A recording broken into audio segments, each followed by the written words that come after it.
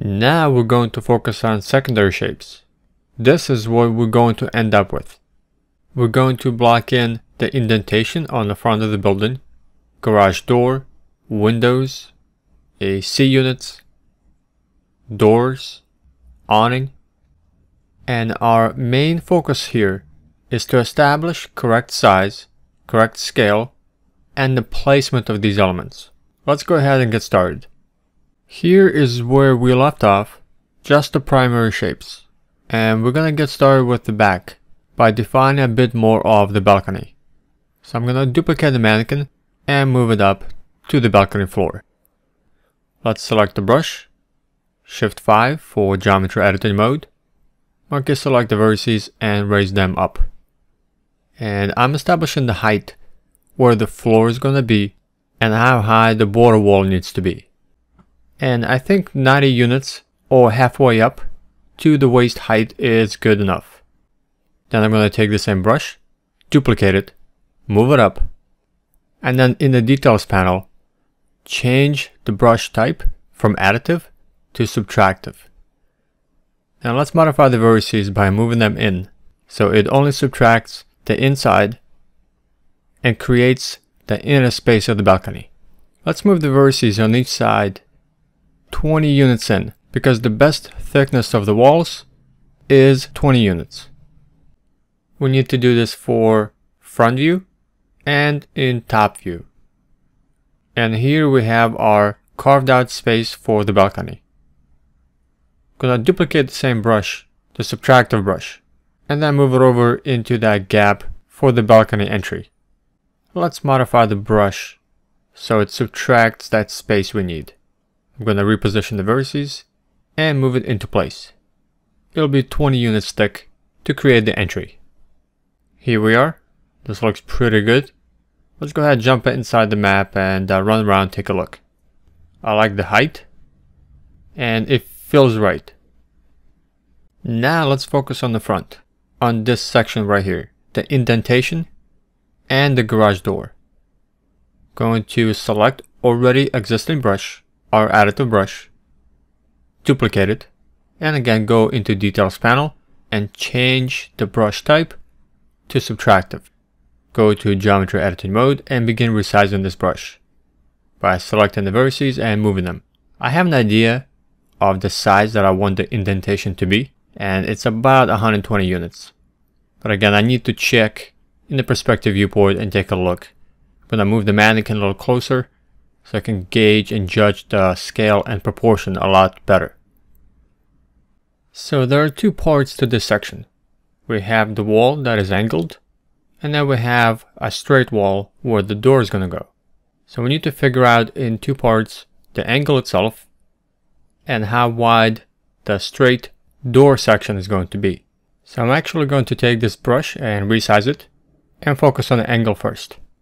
I think the straight section is going to be probably 130 units in width because average door width in Unreal is 120 units and that will give me 5 units on each side to create the door frame. So I'm going to resize this brush, create the angle, and make sure I'll leave 130 units for where the door is going to go, the straight section. Once I have the angled wall blocked in, I'm going to duplicate this subtractive brush, resize it, and block in the straight section for the door entry. I also want to take into consideration the 20 units for wall thickness that's going to be on the side next to the door. This part right here. Let's go ahead and move the mannequin a little closer. And I think the height of this indented section is too big. It's too tall.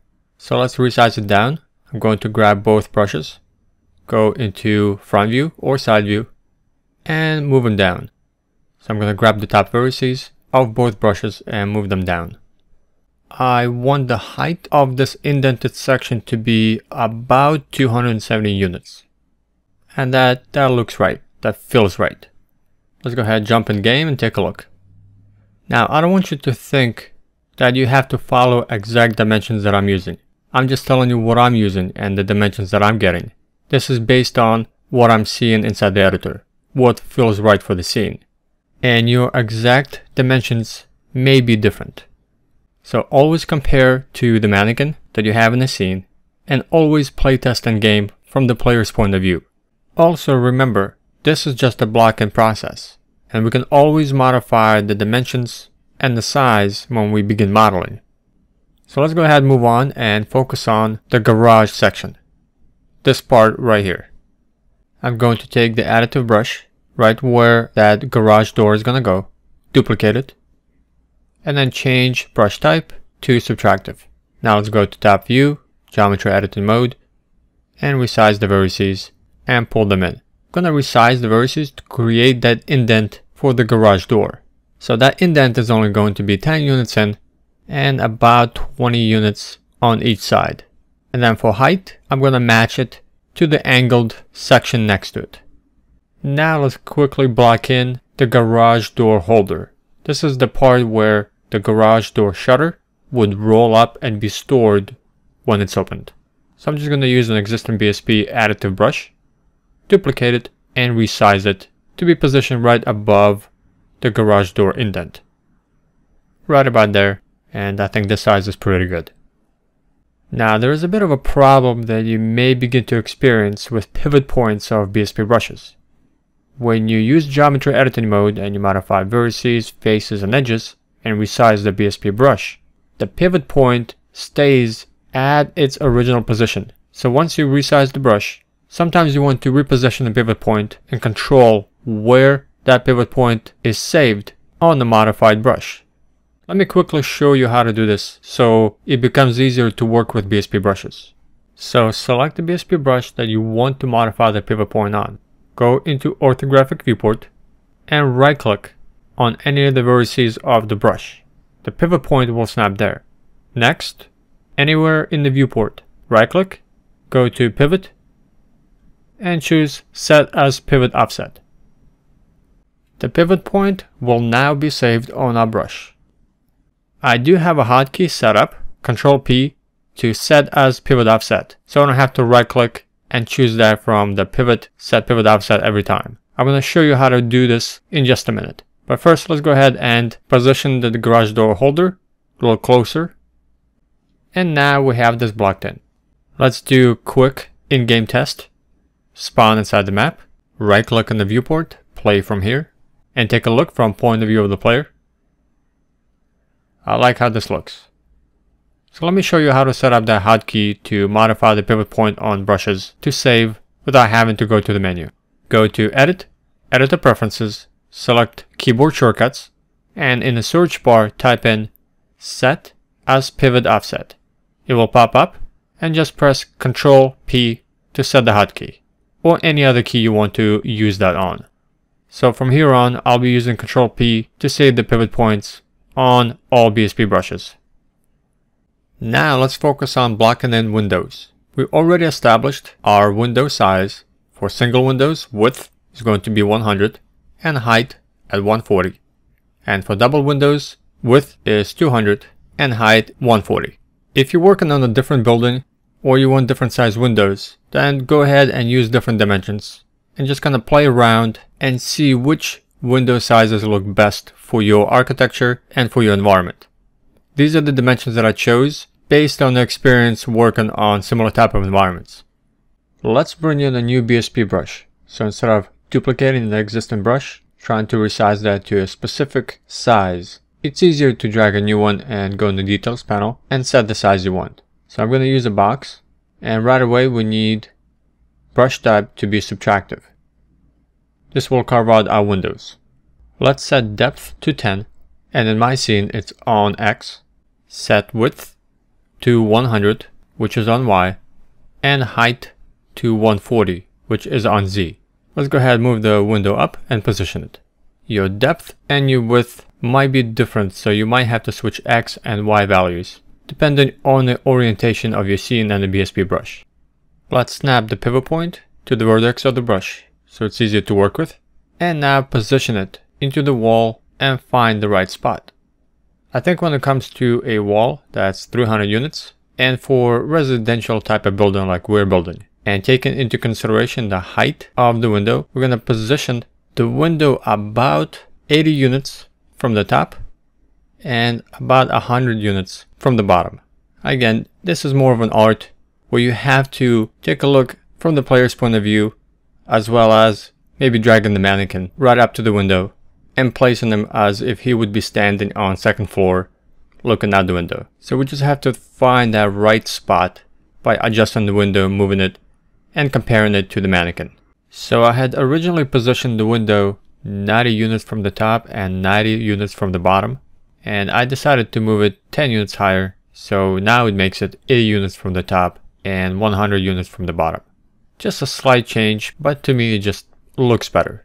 We only need to establish this position of the window once, because it will be duplicated all around the building. So here I'm taking this single window, and I'm going to duplicate it and move it to the side. Since on the side of the window we have single windows, and on the front of the building we have double windows. Let's come back to the front and resize it to be 200 units in width to make up the double window. Select the brush, go into details panel, and change Y, the width, to 200 units.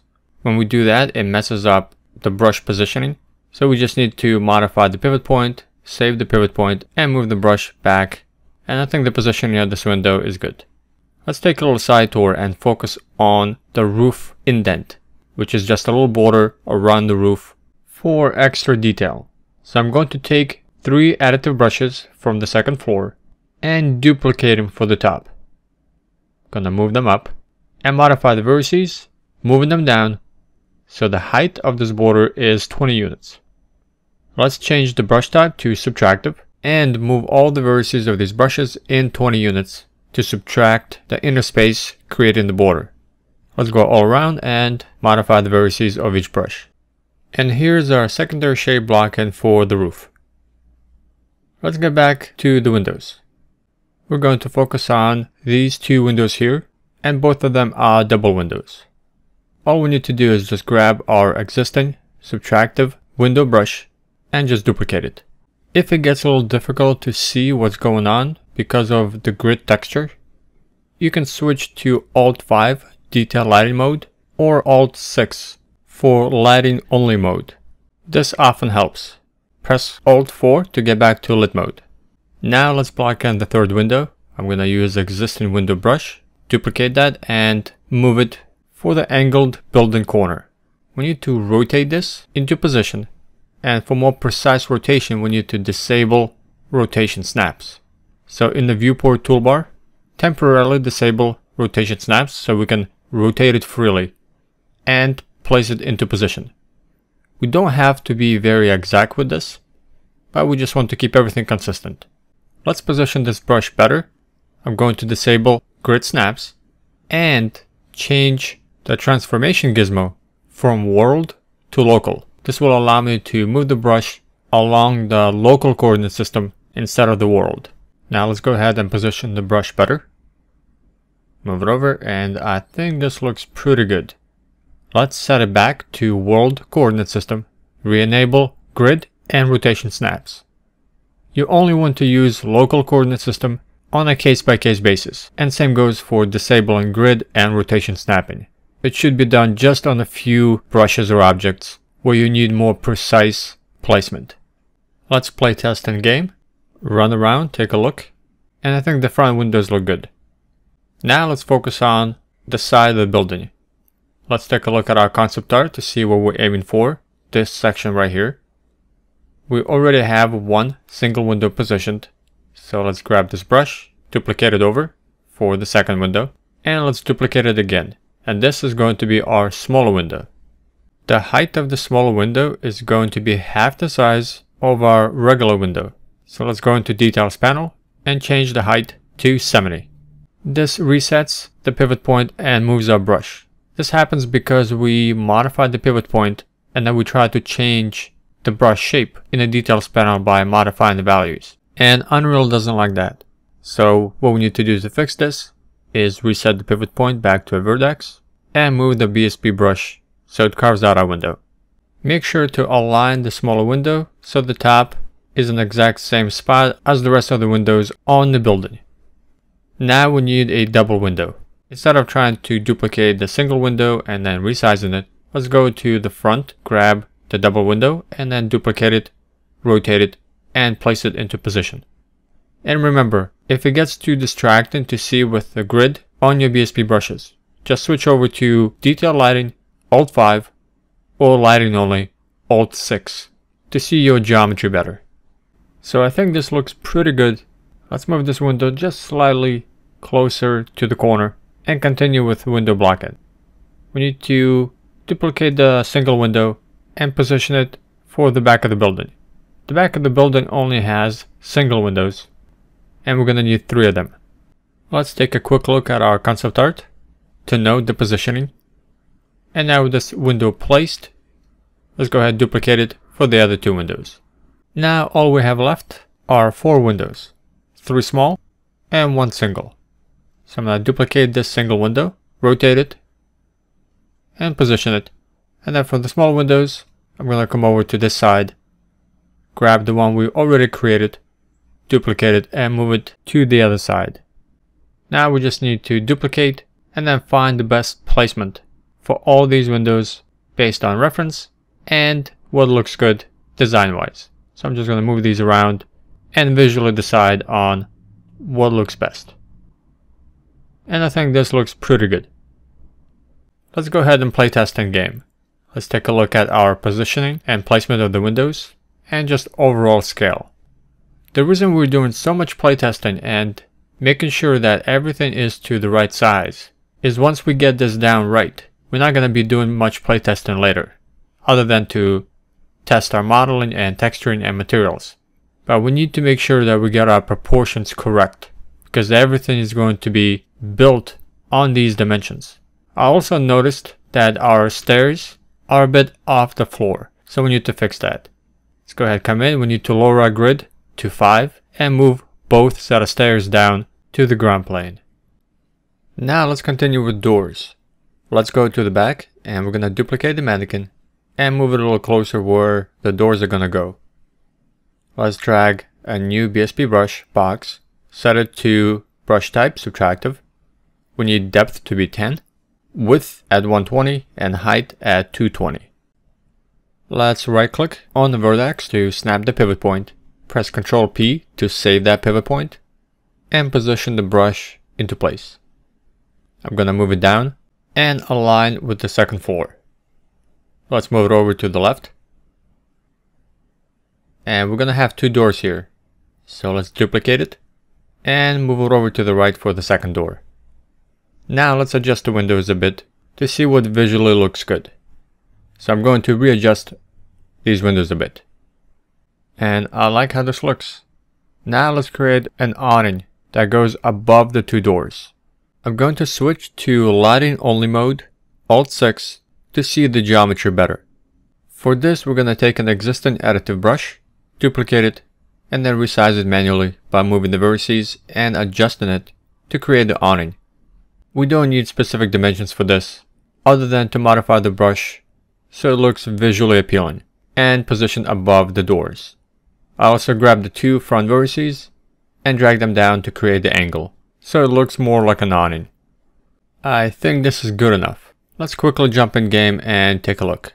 Gonna walk underneath it, next to the doors, and take a look at the door and the awning together, and I uh, see the height of the player compared to both of these shapes and I'm going to slightly modify, just move it down so the bottom is aligned with the top of the door.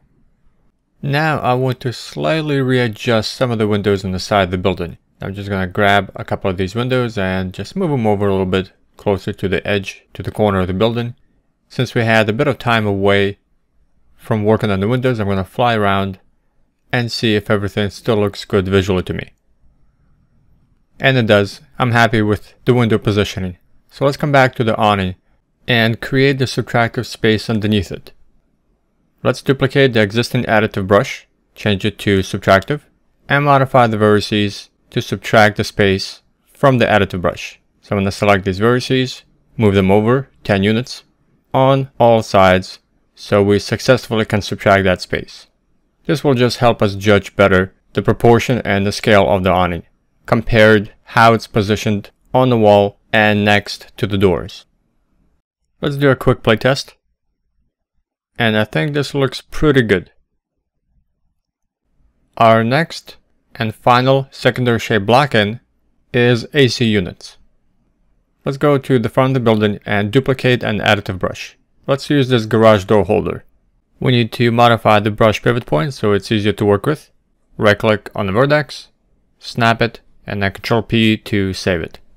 Then duplicate the brush, move it up, Shift 5 to geometry editing mode, and begin resizing faces and vertices to estimate the size shape of the AC unit. So I think 80 units in width may be the right size. So I'm just going to pull these vertices back a little bit, create more of the right shape. And I think this is okay. Let's keep this size for now and duplicate it for the rest of the windows. So I'm just going to grab this, Alt Shift drag, duplicate this AC unit for the second window. Then let's duplicate it one more time for the side of the building and position it in this window. And before we move further, let me playtest really quick to help us judge the size better. And I'm hesitating a little bit on the AC unit size. It just seems a bit off. So I'm not quite sure, but there's something off about it. So I, am gonna keep this for now, uh, but I do think that we may need to readjust it and make it smaller. In the meantime, let's continue to block in the AC unit with the size as is, and I will make that decision once we have them all positioned. So let's come up front, and I'm gonna duplicate this AC unit, move it over to the corner side of the building. Let's disable grid and rotation snaps so we can place it and position it better. And make sure to re-enable grid and rotation snapping back. And let's duplicate it one more time for the back of the building and position it by this window above the stairs. One more playtest and let's go ahead and run around and see what all the AC unit sizes look like. And yeah, I think they are too big and they, they just seem off. We are gonna change them and make them slightly smaller. Again, we can change them inside Maya when we begin modeling but I do want to have the right shape relative to the building as a template when we export these BSP brushes.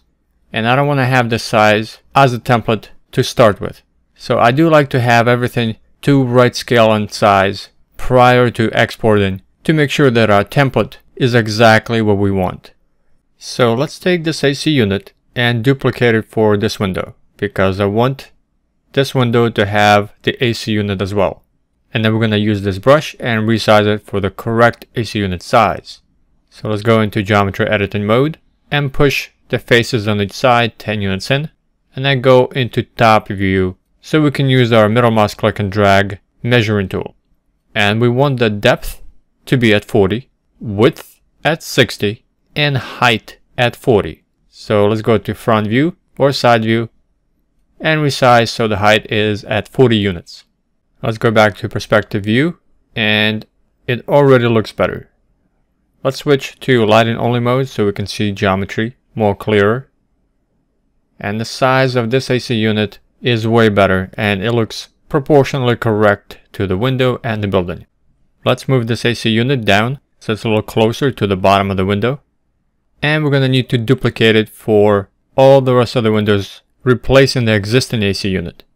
So let's go into orthographic viewport and make sure that, that our pivot point on the BSP brush is at a vertex. So it's easy to duplicate and manipulate this brush all around the building. We're gonna delete the old AC unit here and duplicate the new one. Now let's do this for all of the other AC units around the building. I'm gonna duplicate, delete the old brush, and replace it with a new brush. So let's do this quickly for all of the old BSP AC units. Remember to disable grid and rotation snaps when you're working with position and the BSP brush for the corner angled section of the building, as well as changing it to local coordinate space. Alright, and here we are. Let's go ahead fly around our building, take a look at all the AC units, make sure we change them all out, and do our final in-game test. So let's spawn a game and run around to do our final check. make sure that all the scale and proportion feels right. And to me, everything feels good. I like where everything is at and we are now done with BSP blocking. This is going to become our modeling template. So we'll be taking all these BSP brushes, exporting them out, and importing them into Maya to be used as a template to model to. Our very last thing is to make sure that we save our progress. Go to File and Save All.